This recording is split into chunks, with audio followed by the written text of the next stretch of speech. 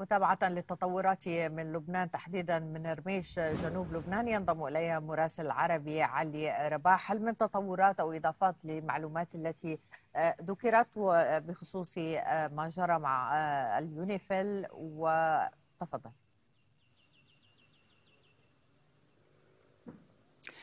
ديما يعني بما خص موضوع قوات حفظ حفظ السلام التابعة للأمم المتحدة هنا نتحدث عن المراقبين الدوليين الذين تعرضوا لانفجار بحسب طبعا قوات اليونيفيل وبيان قوات اليونيفيل. الانفجار حصل في هذه المنطقة منطقة قطمون في أطراف بلدة رميش طبعا خلف تلك التلة تحديدا وبالقرب من المواقع الإسرائيلية. تلك التلة عموما لا يمكن لأحد من سكان المنطقة أو أي شخص آخر أن يصعد إليها باستثناء قوات اليونيفيل والجيش اللبناني الذين عادة يسيرون دوريات مشتركة في تلك المنطقة وعلى طول الخط الأزرق.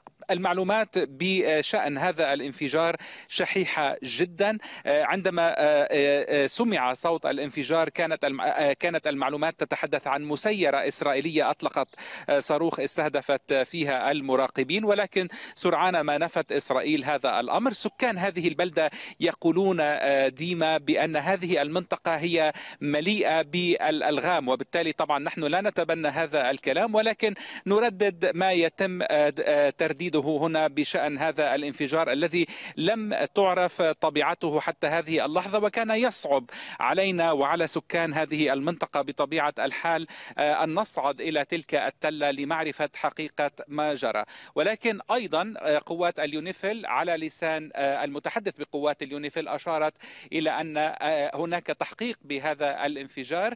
وأيضا طالبت كل الأطراف بوقف إطلاق النار لمنع مزيد من الدماء على طول الحدود. اللبنانية مع فلسطين المحتلة. على المستوى الميداني شنت القوات الإسرائيلية تحديدا المقاتلات الإسرائيلية سلسلة من الغارات. حتى هذه اللحظة نتحدث عن ثماني غارات خمس, خمس غارات منها على بلدة الطيبي غارتان على وادي حنين إضافة إلى غارة استهدفت منزلا في بلدة النقورة. تزامن ذلك مع قصف مدفعي طاول أطراف بلدات عدة على طول الحدود اللبنانية مع فلسطين المحتلة. من جانبه حزب الله شن حتى هذه اللحظة بحسب بياناته خمس عمليات استهدف فيها مواقع إسرائيلية على طول الحدود اللبنانية مع فلسطين المحتلة وفي القطاعات الثلاث القطاع الأوسط حيث نتواجد نحن والقطاع الغربي والقطاع الشرقي. أيضا استهدف تجمعات لقوات الاحتلال استهدف آليات لقوات الاحتلال ولكن ربما الاستهداف الأبرز اليوم بما أننا نتحدث حتى هذه اللحظة عن عمليات تقليدية روتينية هي استهداف مستعمرة إدميت. عادة عندما يتحدث حزب الله عن استهداف المستعمرات ومبان داخل هذه المستعمرات فذلك ردا بحسب بياناته على استهداف القرى والبلدات اللبنانية وتحديدا استهداف المنازل.